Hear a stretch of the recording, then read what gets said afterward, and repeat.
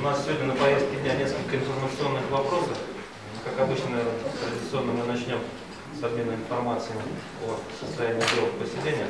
Субботнику сегодняшнего дня объявлен месячник по благоустройству и санитарному содержанию территорий. А, про- Пройдет сегодня в 14 часов оргкомитет. Всем присутствующим э, представителям, руководителям организации будут представлены э, памятки. Он проходит в традиционном режиме. Прошу обратить глав администрации внимание, потому что отдельные уже администрации организовали у себя эту, эту работу. Субботнику все организации предприятия получили свое задание, территории. Все, начинаем работать. Значит, договариваемся с лесхозом о том, чтобы нам э, дали по деревья. Будем сажать деревья. Есть организации, которые готовы это делать. Пожаров было 12, три дома сгорело, три хозпостройки, два автомобиля, четыре бани. ДТП было 5, погиб один человек, пострадали четверо. Коротко освещу миграционную ситуацию, которая складывалась за первый квартал 2015 года и изменения законодательства, которые произошли с 1 января 2015 года. В ФМС России по Санкт-Петербургу Ленинградской области в Кингисеппском районе существует группа миграционного контроля, в которой по штату три сотрудника. На постоянной основе выявляются адреса массовой постановки на миграционный учет иностранных граждан, в данный квартал выявлено три адреса эффективной постановки на миграционный учет. Все материалы направлены в МВД по Кингисеппскому району по статье 322.3 УК Российской Федерации. Также на постоянной основе осуществляется мероприятие по стабилизации миграционной ситуации на территории Кингисеппского района, в результате которых совместно с участковыми уполномоченными и ФСБ осуществляется проверка соблюдения миграционного законодательства организаций, принимающих иностранных граждан. В рамках реализации положений послания президента Российской Федерации, нормативных актов МВД России, ФМС России, деятельностью ФМС России по Санкт-Петербургу и Ленинградской области осуществляется на базе выстроенной системы межведомственного взаимодействия заинтересованными службами и ведомствами, органами исполнительной власти, прокуратуры Кингисеппа, ФСБ, МВД и другими. Разрешать в кратчайшие сроки возникающие в процессе работы проблемы. Планы совместных мероприятий по контролю за миграционной ситуацией, противодействию нелегальной миграции и соблюдению миграционного законодательства на территории Кингисеппского района. При выявлении иностранных граждан, незаконно находящихся на территории РФ, они привлекаются к административной ответственности по статье 18.8, часть 3 КАП Российской Федерации. В дальнейшем направлении материалов в Кингисеппский суд для принятия решения об административном выдворении за пределы Российской Федерации. В первый квартал 2015 года проведено три проверочных мероприятия. Вынесено 60 решений о наложении административного штрафа на сумму 700 тысяч рублей. За первый квартал 2015 года принято решение о неразрешении въезда в Российскую Федерацию иностранным гражданам 419. Самые основные тезисы перечислю. Значит, патент представляет право иностранному гражданину осуществлять трудовую деятельность на территории того субъекта Российской Федерации, в котором он выбран.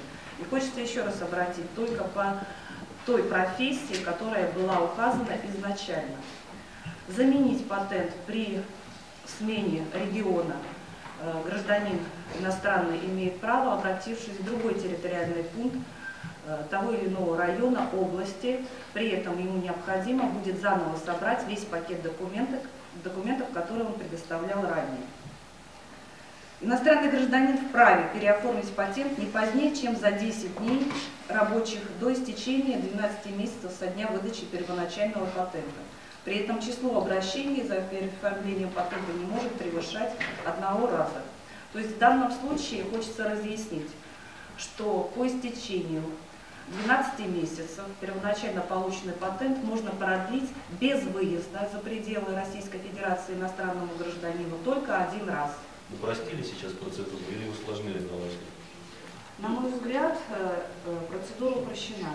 В данном случае начинает существовать единый документ, который позволяет э, всем лицам, которые хотят привлечь иностранных граждан на работу, не выяснять конкретно, какие именно у них разрешительные документы. Если раньше было подразделение на разрешение на работу, которое давалось исключительно для осуществления трудовой деятельности на предприятиях, организации, у частных индивидуальных предпринимателей, э, то теперь патент, который раньше использовался только для работы иностранных граждан в подсобных хозяйствах, при на дачных участках э, российские граждане привлекали их к работе. Теперь все едино.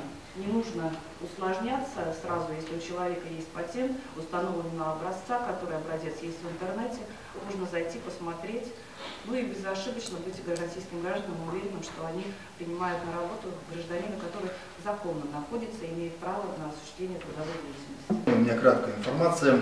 Начну с того, что указом президента Российской Федерации 23 июня 2014 года номер 460 утверждена новая форма справки о доходах, расходах и обязательствах имущественного характера муниципального служащего супруги, супруга несовершеннолетних детей. Данная форма справки имеет существенные изменения, поэтому прошу всех лиц, предоставляющих соответствующие сведения, э, обратить на изменения особое внимание.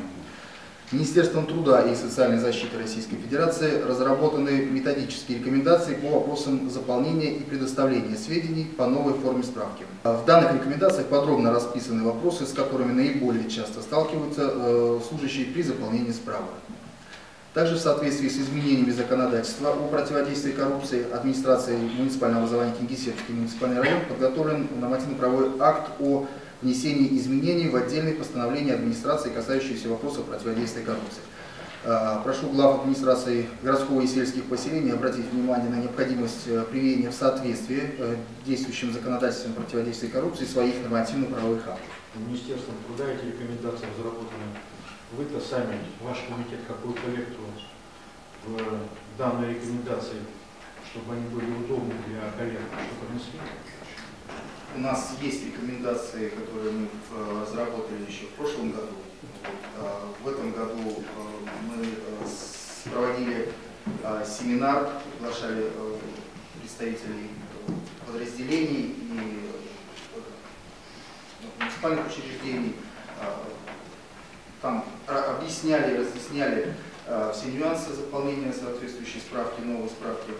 Вот. А те э, методические рекомендации, которые разработаны э, Минтрудом, они э, достаточно информативны, абсолютно содержат подробные разъяснения.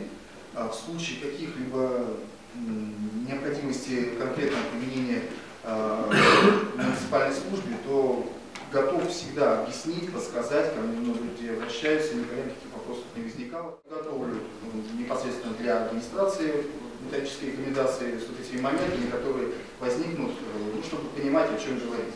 Уважаемые коллеги, муниципальное казенное учреждение служба заказчика является многопрофильным учреждением. Я постараюсь, э, наверное, коротко рассказать о его основных задачах Э, и некоторые итоги вам довести по прошлому году.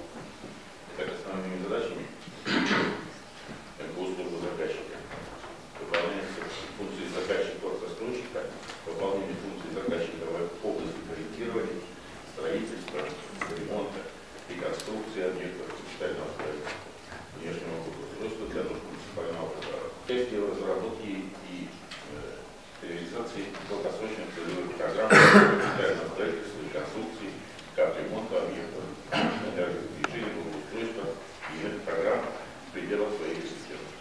Составление дефектных ведомостей по объектам капитального строительства, капитального ремонта, реконструкции объектов, э, внешнего благоустройства, проверка документации при размещении муниципальных заказов.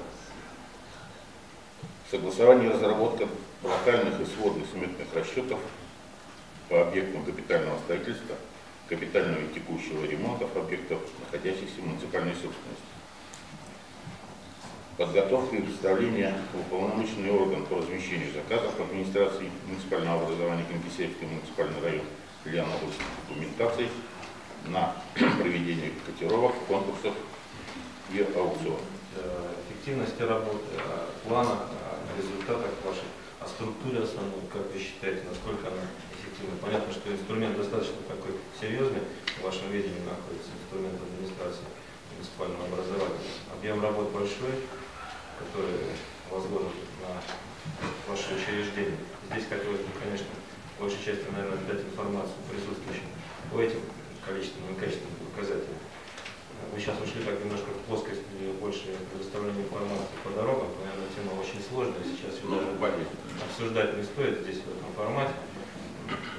Поэтому я бы предложил Евгений Павлович еще раз совместно с Валерием Алексеевичем вернуться к этому вопросу, сделать подробную информацию о работе предприятия и, соответственно, ваши виды перспективы. Почему до сегодняшнего дня вы не обработали значит, представленные депутатам, депутатами так называемые депутатские наказы? И сегодня у меня опять появилось письмо председателя комитета по ЖКХ о том, что это вопрос снять с совета. Вопрос обрабатывается в комитете. Так а сколько, мы, сколько вы его будете обрабатывать? Я его не обрабатываю, я не комитет ЖКХ. Губернатор очень эффективно следит за ситуацией в Ленинградской области, в том числе с теми проблемами, которые у нас существуют. Я бы хотел сказать коллегам, э, Совет депутатов готов работать на опережение. В каком плане? В таком плане, что Комитету финансов, особенно это тоже касается, что когда мы достоверно знаем, что будет э, финансирование Ленинградской области, в частности по тем же дорогам, где будет выделено там, до 200 миллионов рублей. Конечно, это небольшие деньги, но они все равно должны будут пройти через конкурс. Поэтому, не дожидаясь, когда будет принято окончательное решение на области, мы можем принять решение, соответствующее, соответствующее легитимное решение э, на Совете депутатов, э, провести все подготовительные мероприятия и тогда входить в эту реку эффективно и раньше. Мы ждем, пока область примет решение, пока она выделит эти деньги, и потом мы куда уходим? Уже осень, в зиму. А у нас э, как раз тот период, который нам позволяет сегодня осваивать эти деньги в благоприятное время, мы этого не делаем. Поэтому я вот обращаю внимание, что, еще раз подчеркиваю, Совет депутатов и города, и района готов принимать решения на опережение. В частности, например, э, меня интересует э, аптекарский переулок 9. Там, когда происходят, так сказать, дожди, там целое море, там огромная лужа. Вот. Что вот в плане вот леневки, вы сказали про леневку, ну а что, вот, что, что сделано для того, чтобы вот таких луж у домов не было, чтобы люди могли комфортно подходить к своим домам? С привлечением там, там источников э, бюджетных тоже в том числе. Э, очистка колодцев в весенний период проводится регулярно мы видим эти проблемные места, на них обращаем внимание, будут приступать к работам, как только сейчас завершится торги. То есть придет компания, которая будет пользоваться. А вот на Криковском, и я благодарен нашим журналистам, они вот хороший материал подавали в газете, на Криковском было тоже огромное, так сказать, почти что, так сказать, маленькое озеро в районе Криковского. 14? Да, да, да, 14, правильно. Ну, сейчас тоже там принимаются, ведутся земельные работы, там будет налажена вся эта выпуск э, ливной ливневого тарифа э, водоотведения. Но я при этом должен сказать, что деньги, которые вы, э, выделяются на ливневую канализацию, а ее 37 километров, это не считая колодцев. Если разделить сумму выделяемых на э, километраж, получается 4 рубля поклонный метр всего. Э, из этого тоже полицейская. Проходить в течение текущего месяца апреля, с 30 марта по 30 апреля. Сегодня состоится первое э, заседание комитета в 14 часов. Все предприятия, которые участвуют традиционно в этом мероприятии, будут уведомлены, и мы проведем общее э, заседание в ближайшие дни. Осмотр территории, в основном это береговая зона реки Луги, то есть те территории, которые у нас традиционно в уборку не попадают. А, центральная часть города, где убирает наш подрядчик и где управляющие организации ТСЖ убирают, тоже будут вовлечены. И через управляющие организации мы готовы э, население так что приветствовать на это мероприятие. С нас коротко это инструмент э, и от вывоз э, того, что соберут мусора.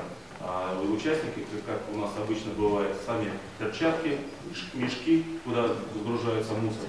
И просьба только заблаговременно обращаться в оргкомитет, поскольку бывает похожая погода, так скажем, в пятницу, и весь город выходит в один день. Э, трудно убирать после э, массового выхода э, мусор со Слово города. Всех благодарю за ту активную работу, которая вами была проделана к подготовке очередной сессии, которая состоится 8 апреля, городская сессия. Э, Уже порядка 30, во- 35 вопросов. Вот видите, то есть у нас уже город стал работать в таком более масштабном плане. Э, Работаем в графике. Все вопросы вам э, предоставляются, которые мы рассматриваем заранее. И все в основном, в общем-то, успешно справились с этой задачей и своевременно передали все вопросы, которые должны будут рассматриваться на сессии. Глава администрации муниципального образования Бесецкий муниципальный район награждается Михайлушкина Татьяна Сергеевна, главный специалист по учету и контролю отдела попечительства администрации за добросовестный труд. Кирич Любовь Михайловна, начальник отдела внутреннего муниципального финансового контроля Комитета финансов администрации за многолетний добросовестный труд и в связи с юбилеем.